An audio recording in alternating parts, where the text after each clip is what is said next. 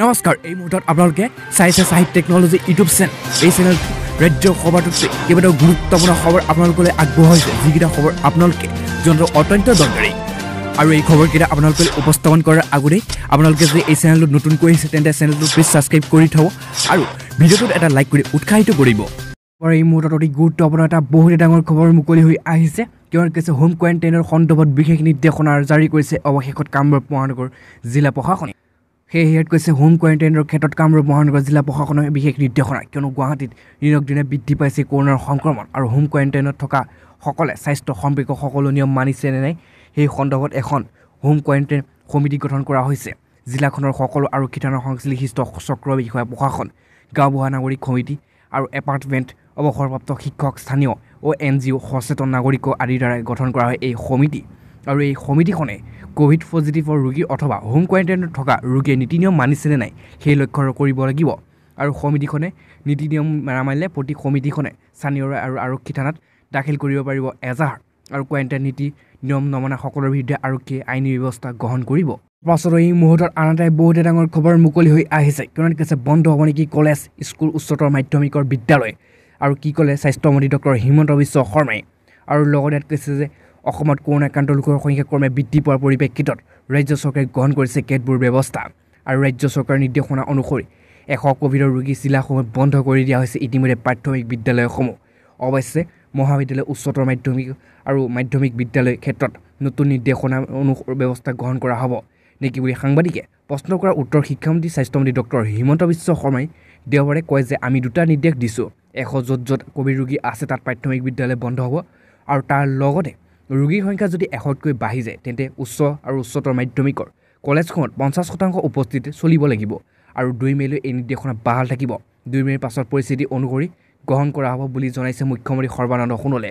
পাছত এই মুহূৰ্তত অতি ভয়ংকৰ এটা ব্ৰিক ব্ৰেকিং নিউজ মুকলি হৈছে অসমবাসী ৰাইজৰ বাবে। কিয়নো কৈছে ক'ভিডৰ ভয়াৱহতাৰ প্ৰতি লক্ষ্য ৰাখি অৱশেষত অসমৰ বিশ্বনাথত এশ চৌৰাল্লিছ ধাৰা জাৰি কৰিছে। লগতে কৈছে ক'ভিডৰ ভয়াৱহতাৰ প্ৰতি লক্ষ্য ৰাখি বিশ্বনাথত ইতিমধ্যে আজি এশ চৌৰাল্লিছ ধাৰা জাৰি কৰি দিছে। আৰু এই নিৰ্দেশনা আজিৰ পৰা আৰম্ভ হ'ব। দ্ৰুতগতিত বৃদ্ধি পাইছে ক'ভিডৰ আক্ৰান্ত ব্যক্তিৰ সংখ্যা। ৰাজ্যৰ বিভিন্ন স্থানৰ লগতে বিশ্বনাথতো বৃদ্ধি পাইছে কৰোণাৰ গণ সংক্ৰমণ। ইয়াৰ ওপৰত ভিত্তি কৰি বিশ্বনাথ জিলাত এশ চৌৱাল্লিছ ধাৰা কৰিছে প্ৰশাসনে। জিলাখনত এশজন ক'ভিড পজিটিভ ৰোগী ওলোৱাৰ পিছতে চৰকাৰী বেচৰকাৰী প্ৰাথমিক বিদ্যালয়সমূহ বন্ধ ঘোষণা কৰে বিশ্বনাথ জিলা প্ৰশাসনে। আৰু জাৰি কৰা এশ চল্লিছ ধাৰাৰ ভিত্তিত ৰাজহুৱা পাঁচজন বা তাতোতকৈ অধিক লোক একেলগে উপস্থিত থাকিব নোৱাৰিব। তদুপৰি বিভিন্ন স্থানৰ অস্ত্ৰ শস্ত্ৰ আদি নিব নোৱাৰিবৰ পাছতো আন এটাই বহুতে ডাঙৰ বিগ ব্ৰেকিং নিউজ এটা মুকলি হৈ আহিছে এই মুহূৰ্তত। কিয়নো ইয়াত কৈছে ৰাজ্যবাসীক ৰক্ষা কৰিবলৈ অধিক সতৰ্কতা দায়বদ্ধত আগবাঢ়িব লাগিব। এইদৰে মুখ্যমন্ত্ৰীৰ স্পষ্ট মন্তব্য কিয়নো অসমৰ লকডাউনৰ পৰিস্থিতি সন্দৰ্ভত এক বৃহৎ মন্তব্য কৰিছে।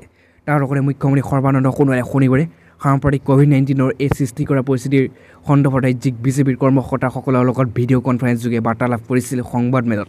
আৰু বাৰ্তালাপৰ সময়তে মুখ্যমন্ত্ৰী সৰ্বানন্দ সোণোৱালে কৈছে যে বিগত বৰ্ষৰ ভয়াৱহতাৰ পিছত সমগ্ৰ দেশে ক'ভিড নাইণ্টিনৰ দ্বিতীয় জ্বৰ মুখামুখি মুখামুখি হ'ব লগা হৈছে। আৰু ঠাই বিশেষকৈ এই মাৰাত্মক ভাইৰাছে এইবাৰ পূৰ্বতকৈ অধিক আগ্ৰাসী ৰূপ ধাৰিছে। আৰু আমাৰ ৰাজ্যখনো ইয়াৰ পৰা সাৰি যোৱা নাই। ৰাজ্যভাষিক আৰু এই সংক্ৰমণৰ পৰা ৰক্ষা কৰিবৰ বাবে আমি পূৰ্বতকৈ অধিক সতৰ্কতা আৰু দায়বদ্ধতা আগবাঢ়িব লাগিব বুলিও মন্তব্য কৰিছে মুখ্যমন্ত্ৰীগৰাকী। আৰু কিন্তু তেওঁ লগতে কৈছে তেওঁ পুনৰ কৈছে ৰাজ্য সশস্ত্ৰৰ ৰাইজৰ লগতে বিজেপি কৰ্মকৰ্তাসকলক তথা চৰকাৰৰ যৌথ প্ৰচেষ্টাৰ বিগত বৰ্ষত আমি সফলতাৰে কৰোণা প্ৰতিহত কৰিবলৈ সক্ষম হৈছিলোঁ। আৰু এই ক্ষেত্ৰত দেশৰ ভিতৰতে অন্যতম সফল ৰাজ্য হিচাপে পৰিগণিত হ'বলৈ গৈছিল অসম। কিন্তু বিজেপিৰ কৰ্মকৰ্তাসকলে প্লাজমা দান দুখীয়া জনতা জনসাধাৰণক সহায় আগবঢ়োৱা ৰাষ্ট্ৰ সেৱাৰ উদাহৰণ দেখুৱাইছিল। এইবুলিও তেনে মানসিকতা আৰু কৰোণাৰ বিৰুদ্ধে যুঁজ দিবলৈ লাগিব। ৰাষ্ট্ৰৰ কথা চিন্তা কৰি বিজেপি দলৰ কৰ্মকৰ্তাসকলে কাম কৰিব লাগিব। এইদৰে মুখ্যমন্ত্ৰীগৰাকীয়ে স্পষ্ট মন্তব্য কৰিছে। কিন্তু সংক্ৰমণৰ প্ৰতিৰোধৰ বাবে ৰাজ্য চৰকাৰে জাৰি কৰা এছ অ' পি ক'ভিডক পতকত মানি চলা আৰু ৰাজ্যক প্ৰতি উৎসাহিত কৰিব লাগিব। পাছতো এই মুহূৰ্তৰ অতি গুৰুত্বপূৰ্ণ আজিৰ দিনটোৰ বিগ ব্ৰেকিং নিউজটোৱে মুকলি হৈ আহিছে।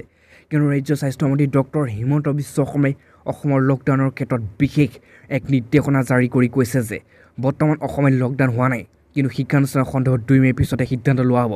কিন্তু দুই মে'ত অসম চৰকাৰে চৰকাৰ গঠন কৰিব আৰু তাৰপিছতেই অসমত শিক্ষানুষ্ঠান অসম মেট্ৰিক হায়াৰ ছেকেণ্ডেৰীৰ পৰা সকলো পৰীক্ষা বাতিলৰ সন্দৰ্ভত সিদ্ধান্ত গ্ৰহণ কৰিব বুলি হিমন্ত বিশ্ব শৰ্মাই স্পষ্ট মন্তব্য কৰিছে। আৰু লগতে তেওঁ ইয়াত কৈছে যে ইয়াত কোৱা হৈছে বৰ্তমান অসমত লকডাউনৰ প্ৰয়োজনীয়তা বৰ্তমান হোৱা নাই কিন্তু শিক্ষানুষ্ঠানৰ সন্দৰ্ভত দুই মে'ৰ পিছত সিদ্ধান্ত লোৱা হ'ব। বৰ্তমান অসমত লকডাউন প্ৰয়োজনীয়তা কিছু হৈছে আৰু কিছু হোৱা নাই। ৰাজ্যৰ শিক্ষানুষ্ঠান সম্পূৰ্ণ বন্ধ কৰাৰ সিদ্ধান্ত লোৱা হ'ব বুলি ইতিমধ্যে স্পষ্ট মন্তব্য হিমন্ত বিশ্ব শৰ্মাৰ। মন্ত্ৰীগৰাকীয়ে লগতে কৈছে যে অসমত বৰ্তমান অক্সিজেনৰ অভাৱ হোৱা নাই সম্পূৰ্ণ মজুত আছে অক্সিজেন কিন্তু এই অক্সিজেন মাত্ৰ এসপ্তাহৰ বাবেহে আছে। অসমত একেবাৰে অভাৱ হোৱা নাই। ভূটানত তাৰ লগতে ভূটানতো প্লাজ প্লাণ্ট আৰম্ভ কৰা হৈছে। আজি নলবাৰী বেলচৰত প্ৰাক্তন প্ৰয়াত মুখ্যমন্ত্ৰী অমিধৰ বৰ্মনৰ ঘৰ শোক সমাপ্ত আৰু সপ্তম পৰিয়ালৰ বৰ্গৰ খবৰ ল'বলৈ আহি সংবাদ মাধ্যমৰ আগত এই মন্তব্য গৰাকীৰ পাছতো এই মুহূৰ্তত আন এটাই বহুতো ডাঙৰ খবৰ মুকলি হৈ আহিছে। কিয়নো সমগ্ৰ অসমতে এতিয়া কৰোণাৰ কাল ৰূপ ধাৰণ কৰিছে। তাৰ লগতে মন্ত্ৰী ডক্টৰ হিমন্ত বিশ্ব শৰ্মাই এক স্পষ্ট মন্তব্য কৰিছে। অহা দুই মে' বা তিনি মে'লৈকে অসমত কোনো অসুবিধা নহয় কিন্তু আৰু যদি পেচেণ্ট এতিয়া বাঢ়ি যায় তাৰপিছত ৰিস্ক ল'ব নিয়ন্ত্ৰণৰ বাহিৰত যাব অসম। তে ভয়ংকৰ খবৰ কিয়নো অহা দুই মে'লৈকে ক'ভিড পৰিস্থিতি নিয়ন্ত্ৰণত থাকিব কিন্তু তাৰপিছত নিয়ন্ত্ৰণৰ বাহিৰত যাব পাৰে ক'ভিড পজিটিভসকলৰ সংখ্যা। কিয়নো দুই মে'লৈকে নাটনি নহয় ভেকচিন এসপ্তাহৰ বাবে মাত্ৰ মজুত আছে ৰেমডি চিভিৰ ইনজেকশ্যন আৰু দহ মে'লৈকে মজুত আছে অক্সিজেন। আৰু তাৰপিছত সাত দিনলৈ নাটনি নহয় মাত বিচনা। তে এই মুহূৰ্তত ডাঙৰ খবৰ স্বাস্থ্যমন্ত্ৰীগৰাকীয়ে জানিবলৈ দিছে যে সাত দিনৰ বাবে ক'ভিডৰ বিচনা ইতিমধ্যে আছে। কিন্তু তাৰপিছত যদি ক'ভিডে ভয়ংকৰ ৰূপ ধাৰণ ইতিমধ্যে কৰিছেও আৰু তাৰ এইদৰে যদি বাঢ়ি গৈ থাকে কিন্তু অসমত ভয়াৱহ ৰূপ ধাৰণ কৰিব দিল্লীৰ দৰে। কিয়নো সমগ্ৰ দেশৰ লগতে অসমতো ক্ৰমবৰ্ধন ক'ভিড সংক্ৰমণে লৈছে জনসাধাৰণৰ সহস্ত হৈ পৰাৰ সময়তে। ৰাজ্য স্বাস্থ্যমন্ত্ৰী ডক্টৰ হিমন্ত বিশ্ব শৰ্মাই অহা দুই পৰা তিনি মে'ৰ পৰ্যন্ত অসমৰ পৰিস্থিতি নিয়ন্ত্ৰণ কোনো অসুবিধা নহয় বুলি মন্তব্য কৰিছে। কিন্তু শনিবাৰে গুৱাহাটী সংবাদ মাধ্যমৰ আগত মন্ত্ৰী ডক্টৰ শৰ্মাই ৰাজ্যবাসী অশান্ত কয় যে অশান্ত কৈছে যে ক'ভিড ভেকচিন যাতে নাটনি নহয় তাৰ বাবে অসমৰ চৰকাৰে ভাৰত চৰকাৰৰ বাবে অতিৰিক্ত ভেকচিন বিচাৰিছে। বৰ্তমান ৰাজ্য চৰকাৰৰ হাতত দুই লাখ ছয় হাজাৰ ভেকচিন আছিল। আজি ভাৰতৰ চৰকাৰে দুই লাখ কোভিচিল্ড ভেকচিন পঠাইছে আৰু অহা ছাব্বিছৰ পৰা সাতাইছ এপ্ৰিলৰ ভিতৰত আৰু তিনি লাখ ভেকচিন পোৱাৰ আশা আছে। আৰু সেই সকলো মিলাই দুই মে'লৈ ভেকচিন কোনো নাটনি নহয়। কাৰণ প্ৰতিদিনে ছয় ষাঠি হাজাৰৰ পৰা সত্তৰ হাজাৰহে ভেকচিন প্ৰদান কৰিব পাৰে। আৰু ৰেমডেচিভিৰ ইনজেকশ্যনৰ ক্ষেত্ৰত এসপ্তাহৰ বাবে কোনো অসুবিধা নাই বুলি ইতিমধ্যে জানিবলৈ দিছে যে স্বাস্থ্যমন্ত্ৰীগৰাকীয়ে। কিন্তু বৰ্তমান স্বাস্থ্য বিভাগৰ হাতত বাৰৰ পৰা তেৰ হাজাৰ ৰেডিচি ৰেমিডিচিভিৰ ইনজেকশ্যন মজুত আছে। সেই এসপ্তাহলৈ ৰেঞ্জি চিভিৰ ইনজেকশ্যনৰ কোনো নাটনি নহয়।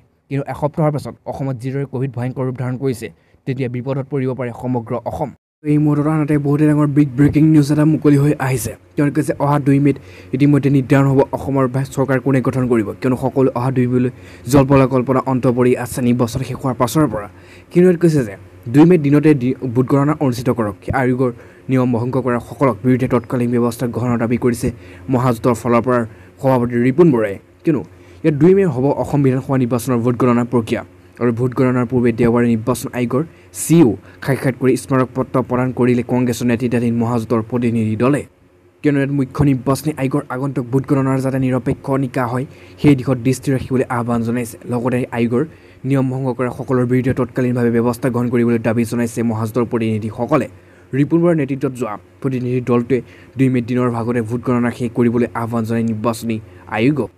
কিন্তু কৈছে নিৰ্বাচনী আয়োগৰ চি অ' সাক্ষাতৰ বাবে যোৱা দলটো আছিল কংগ্ৰেছৰ ৰিপুণ বৰা ৰকিবুল হুছেইন। দেৱদত্ত শইকীয়া ভূপেন বৰা ৰূপজ্যোতি কৰ্মী কমল লক্ষদেৱ পুৰস্কাৰ্য আৰু প্ৰদূত বৰভূঞা আৰু শৈলান সোণোৱালৰ লগতে এ ডি এফৰ দুই সাধাৰণ সম্পাদক ক্ৰমে আমিনুল ইছলাম কৰিমুদ্দিন বৰভূঞা আৰু লগতে বি পি এফৰ চি পি আই আৰু উপস্থিত থাকে দুৰ্গা দাস আৰু বড়ো আৰু সুপ্ৰকাশ তালুকদাৰ ইতিমধ্যে উপস্থিত থাকে এই বৈঠকত। পাছতো এই মুহূৰ্তত আন এটাই বহুত ডাঙৰ এটা ভয়ংকৰ খবৰ পোহৰলৈ আহিছে। যিটো সময়ত সমগ্ৰ ভাৰতবৰ্ষতে এতিয়া কৰোণাৰ দ্বিতীয় ঢৌৱে ট্ৰাক সৃষ্টি কৰিছে তাৰ মাজতে মাত্ৰ এটা ঔষধতেই চমৎকাৰ ঘটিছে। কিন্তু মাত্ৰ চৌবিছ ঘণ্টাতে কৰোণাৰ পৰাস্ত কৰিবলৈ ইতিমধ্যে আৱিষ্কাৰ হৈছে এক বৃহৎ ঔষধ। আৰু এই ঔষধটো হৈছে মলিনপুৰ আৰু ৰিভিৰ। কিয়নো ইয়াত কৈছে কৰোণা সংক্ৰমণৰ দেশজুৰি আতংকময় পৰিস্থিতি হৈ আছে। আৰু দ্বিতীয় ঢৌৰ সংক্ৰমণ বাঢ়িছে দ্ৰুতগতিত আৰু এই সংক্ৰমণে তিনি লাখৰ ঘৰ অতিক্ৰম কৰিছে মাত্ৰ চৌবিছ ঘণ্টাতে। কিন্তু হস্পিটেলত অভাৱ হৈছে বিচনাৰ। অক্সিজেনৰ অভাৱত ৰোগীৰ আন্তঃমান হৈ সৃষ্টি ঘটিছে। বহুতো লোকৰ মৃত্যু ঘটিছে। মৃত ৰোগী সৎকাৰৰ বাবে শ্মশানৰ ঘটিছে অভাৱ আৰু দেশজুৰি হাহাকাৰ অৱস্থা। আত্মীয় ঘূৰাইছে কান্দিছে ৰোল শুনালে গৈছে চৌদিশে। আৰু বহু মানুহে ভেকচিন গ্ৰহণৰ পিছতো আক্ৰান্ত হৈছে কৰোণা ভাইৰাছ। কিন্তু এটা ভাল খবৰ আহি পৰিছে যে এনে অৱস্থাতে কৰোণা প্ৰতিৰোধৰ বাবে গৱেষণাসকলে এক নতুন আৱিষ্কাৰ সাধাৰণ লোকলৈ আশাৰ সংস্কাৰ কঢ়িয়াই আনিছে। জনা গৈছে যে নতুন এণ্টিভাইৰেল ঔষধে আৰু M K double four eight two আৰু মল্টিনিউপৰ ৰিভিয়ৰ আৰু চৌবিছ ঘণ্টাৰ ভিতৰতে সংক্ৰমণ সুৰক্ষা বুলি সক্ষম কৰিছে। কিন্তু বিজ্ঞানীসকলৰ এতিয়াও এই ঔষধৰ ক্ষেত্ৰত এশ শতাংশ সন্দেহমুক্ত নহয়। কিন্তু ঔষধৰ বিধক লৈ এতিয়া চলি আছে বিশেষ গৱেষণাও।